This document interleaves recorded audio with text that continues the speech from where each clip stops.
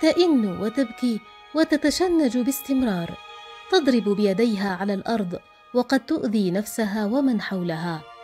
الطفلة دعاء علي القاسمي تبلغ من العمر خمسة عشر عاما من بني مطر.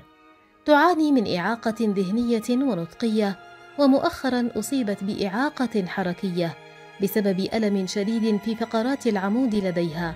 تجعلها لا تستطيع الوقوف على قدميها لاكثر من دقيقة.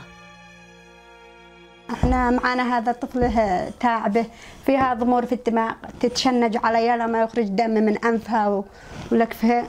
تتعب عليها فيها الفقرات مكافحة إحنا في البلاد.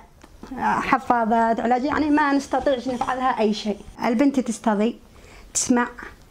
يعني المشي ما تقدرش تمشي. ابزها أكلها.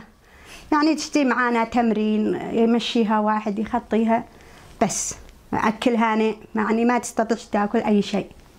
ما بالله وفيها ما تقدرش تستمر يعني خيرات ما بالله تسعى قاعد تطبق تصيح تضربني.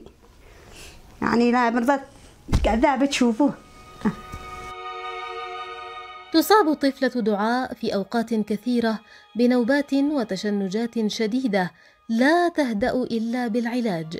الذي انقطع عنها لفترة طويلة وتأتي أسرتها من بني مطر إلى صنعاء لعلاجها وعرضها على الأطباء ما أرهق وضعهم المادي بشكل كبير على مدى خمسة عشر عاما ولم يعد بإمكانهم الاستمرار في علاجها. تحتاج علاج بيطلع علاجها أقل شيء ب 130 ب 140 شهريا. إحنا ما نستطيعش. والله نستمر نشتري واصل. يعني شي واحد مساعد له للعلاج حقها كله. عسب تتحسن تحتاج علاج تحتاج تمرين تحتاج شيء وإحنا في البلاد ما نقدرش نستطيع لكن الذي يتكفل بها ويستريف حتى يدي لنا غرفة ندخل نعالجها نمرنها نسير. نعين كيف نفعل؟ إحنا غير ندخل عندنا الناس تعب ويتواصل على هذا الأرقام. سبعتين خمسة ثلاثة اثنين ثمانية واحد ستة ثمانية.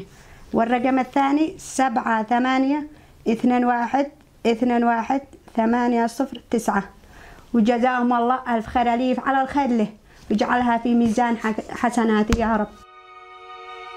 تحتاج هذه الطفلة إلى أدوية مدى الحياة وجلسات تأهيل وعلاج طبيعي للتخفيف من حدة حالة النوبات والتشنجات التي تأتيها ووضع أسرتها المادي صعب للغاية.